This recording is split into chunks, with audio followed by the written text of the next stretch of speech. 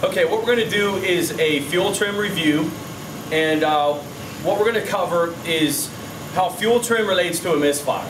And there's a lot of debate in the field as to whether or not you can use your fuel trim numbers and determine the type of misfire that you have. And so what we've done is uh, we pulled up some scan data of a short-term, long-term fuel trim on an RX 300. And uh, what we're going to do is we're going to disable the spark. and um, with that type of misfire, you're going to have raw fuel running into the exhaust, um, not to mention the oxygen too that wasn't consumed. And then we're going to pull a fuel injector, disable the injector, and obviously it would be no fuel, just uh, outside or atmospheric air basically entering the exhaust. So we're going to compare the two and see what our data uh, looks like. I'm going to do the ignition misfire first.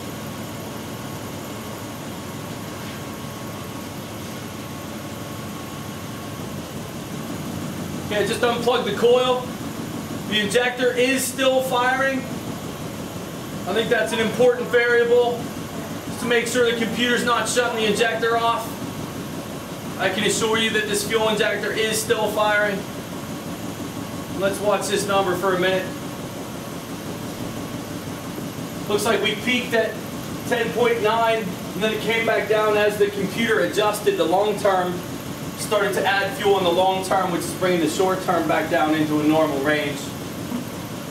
And so you can see that with our, our ignition, uh, ignition misfire happening right now, we have a total fuel trim of uh, uh, maybe around 9%, 8, 9% total fuel trim, and that's positive. So with an ignition misfire, here's what we know so far, um, it does not go negative. So some of the debate out there is, well, an ignition misfire, uh, raw fuel, so people are thinking rich and you think fuel trim is going to go negative. That is not the case. Uh, you cannot make that statement. Uh, when that ignition uh, doesn't fire, we're pumping raw fuel into the exhaust, yes, but raw fuel does not equal rich. It's unburned.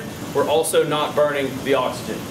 So you can see that with an ignition misfire, essentially, these fuel trim numbers are pretty much useless. Um, these if you looked at this by itself and this car came in with an ignition misfire, these wouldn't help me at all because they look pretty normal.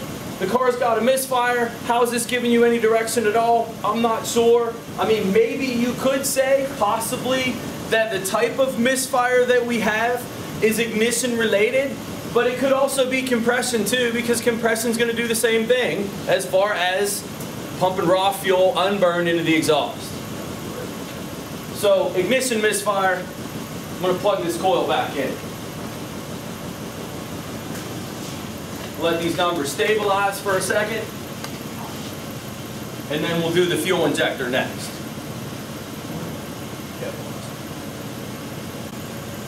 Okay, we let the numbers stabilize. We're going to do the injector now. I'm going to unplug an injector. And again, we're looking at short-term, long-term fuel trim. Just looking at it on bank two. That's the uh, side of the engine that we're disabling the spark and fuel. Do the injector now. This is now a no fuel misfire. As you can see, we, what we would expect for it to go rich, compensate rich. And it certainly had to go more rich in reaction to this injector misfire than it did the ignition misfire. But both ignition and injector misfires that fuel trim went positive. A lot more positive on the fuel injector. Um, I think one of the ways that we can uh, maybe justify this is if you're not spraying the fuel in that cylinder, then you're not taking up that space and there's going to be more oxygen coming into that cylinder than there would be if the fuel was there. So that would be one way we could explain the higher percentage number. Um, another way would be uh, with a fuel, or I'm sorry, with an uh, an ignition misfire, we're pumping fresh oxygen and fresh gas, raw fuel, into the exhaust, and some of that can actually ignite in the exhaust manifold, and we can use up some of that available oxygen in that process in a hot manifold. I think both of those would explain why this is so much higher with a injector misfire as opposed to an ignition misfire. Um, but in either case, here's what we know. With both misfires, the fuel trim command is going to go positive. As you can see, certainly more positive with a no fuel misfire as in this picture. So maybe this might be some valuable information. Uh, if you bring a car in and it has a dead miss and you see very positive fuel trim numbers, maybe we lean more toward the injector than we would uh, ignition. So not discrediting this test by any means, but what I'm trying to uh, uh, clarify is that an ignition misfire will not drive the fuel trim negative. I know we want to think raw fuel is rich, but we can't do that. Uh, we're not burning the air in that cylinder either, so it's gonna, that O2 is going to read lean either way. The only thing though about this would be you could plug in something else that would cause this, and that'd be an intake manifold runner gasket. If that gasket was leaking, uh, and I can't simulate that, but certainly that's going to drive your fuel trim positive and give you a single cylinder misfire. So does this always say, hey, you got a bad injector? No, it doesn't, but it's certainly more positive than an ignition or compression would be. Um, the reason you're seeing this drop down right now, little fuel trim uh, review here, what's the long term doing? Long term's correcting, trying to bring this short term back down to zero. That's what you just saw occur right there, um, and that's why that sudden change. But it, uh, that's our injector misfire. Um, what I want to do before we conclude this, uh, this vehicle is a wideband O2. And so what I want to do is the same process on a narrowband O2 car and see if we get the same kind of reactions. Okay, this is our second car. We're going to try to prove this theory a little bit better. Uh, this is a 2004 uh, Dodge Neon. This is a narrow band sensor as opposed to that Lexus that was a wide band. Uh, one of the things you see right away, the way the short-term fuel trim um, adapts, there's a lot bigger swing in this uh, lean Command on that short term. Kind of interesting. Uh, we definitely need to do some wideband, narrowband O2 stuff. We'll be doing that in the future, so keep watching. But um, so different car. We want to see the reaction again. I'm going to go ignition first, and we're going to look um, at the reaction of this with an ignition misfire. Um, let's do one thing before we do this. Reset our min-max for me here real quick. And now we can use these scales.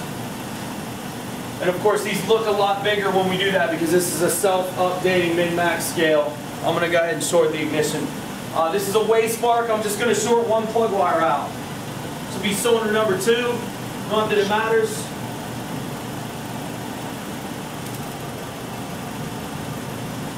Okay, that cylinder two shorted out.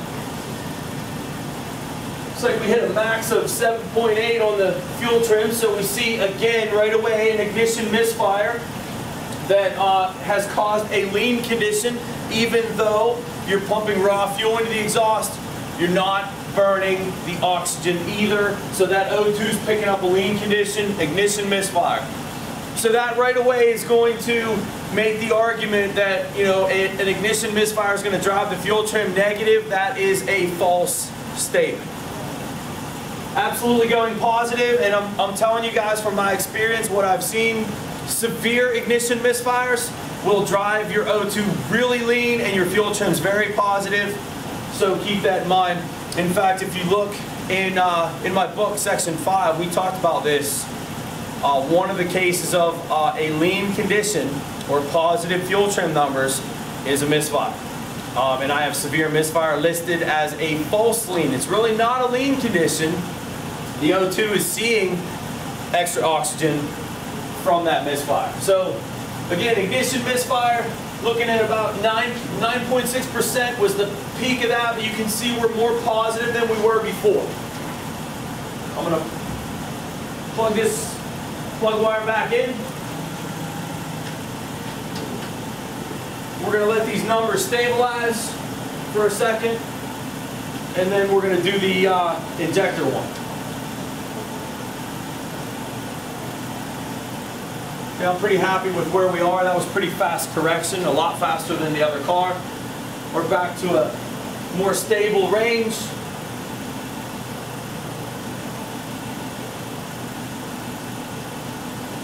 A little bit of changes here, I'm going to give it a second.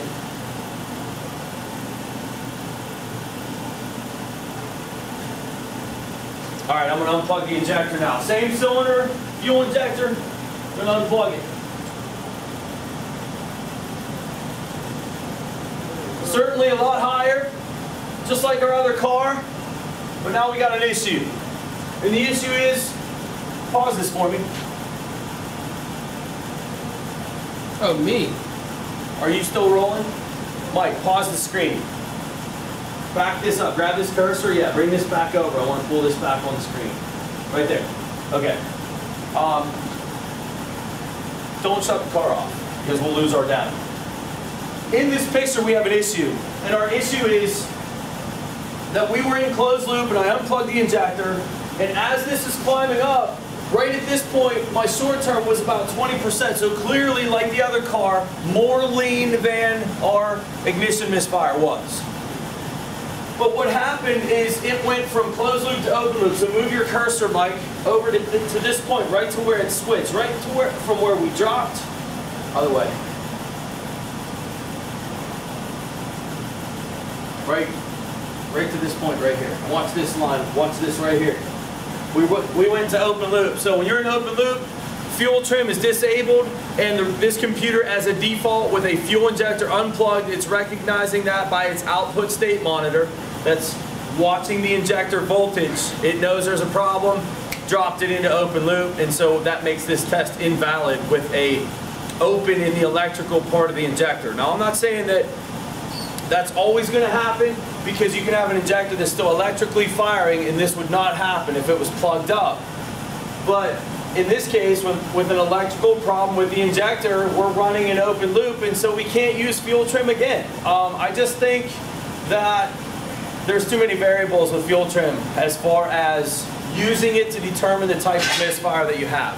Is, is it showing us more of a rich correction with an injector problem on both vehicles? And I think the answer is yes. So there would be some value to this, uh, but using it to say and pinpoint the type of misfire that you have, I, I really don't think it's, it's accurate enough to be able to do that. So fuel trim, misfire, that's what we got.